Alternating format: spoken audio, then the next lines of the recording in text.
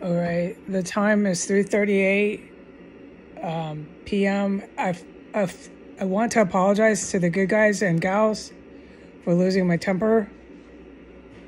Just want to say I'm sorry, and I want to also say thank you for saving my life inside of the ISIS Iranian terrorist compound.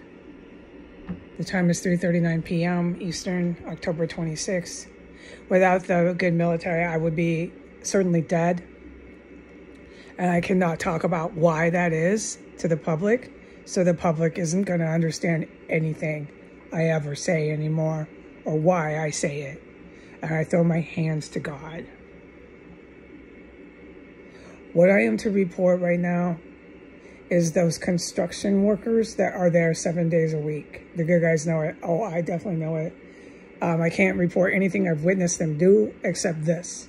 They're on the roof right now going, yeah, whoa, woohoo. And then they go, whoa, yeah, oh, okay, hi, huh, yeah, whoa. So they're partying, waving at the girls, getting paid bucks, and they're on the roof right now. Gracias, adios. I love every one of you in the good military. All right.